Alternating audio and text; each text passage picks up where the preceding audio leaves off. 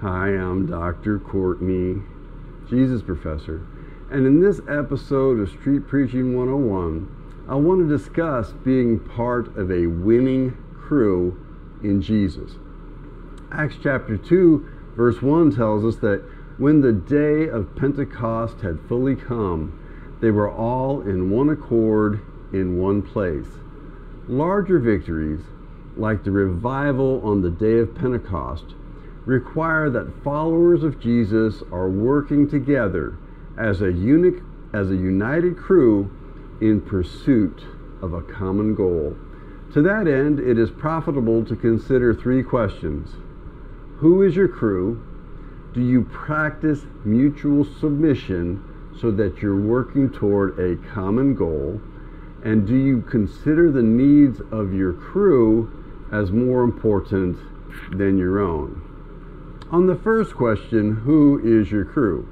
A crew is simply a group of believers committed to each other in Jesus in pursuit of a common biblical goal, usually having something to do with the Great Commission of making disciples and teaching them to obey everything Jesus commanded. If you don't have a crew, ask God to show you the path to becoming part of a crew. Two, the question of mutual submission.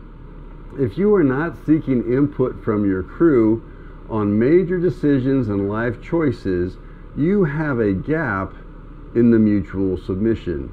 Likewise, there is a gap in mutual submission if significant sins, prayer needs, or obstacles are hidden from your crew. Do you trust the other people in your crew as much as you expect them to trust you? Do you have their backs as much as you want them to have your back? And finally, are the others in the crew more important than you? Do you spend more time lifting up the needs of others in prayer than you spend praying for your own needs? Do you spend as much effort helping others toward their goals as you spend working toward your own goals?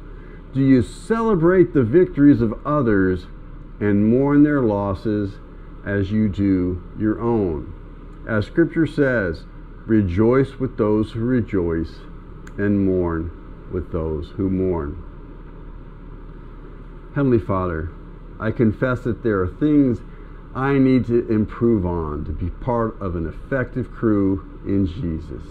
Help me get the log out of my own eye by focusing on my own improvement before I concern myself with how others need to improve. What a wretched person I am. By your Holy Spirit and your holy word, help me see all the areas I need to change to love my neighbor as myself. Help me love my brothers and sisters in Jesus so that the world may know we are his disciples. In the name of Jesus I pray.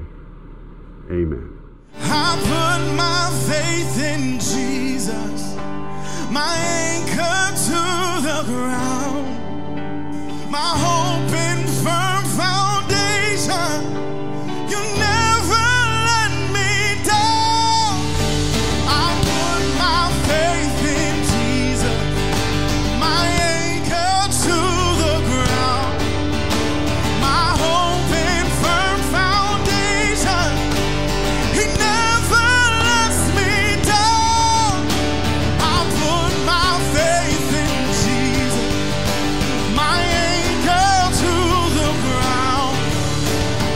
home.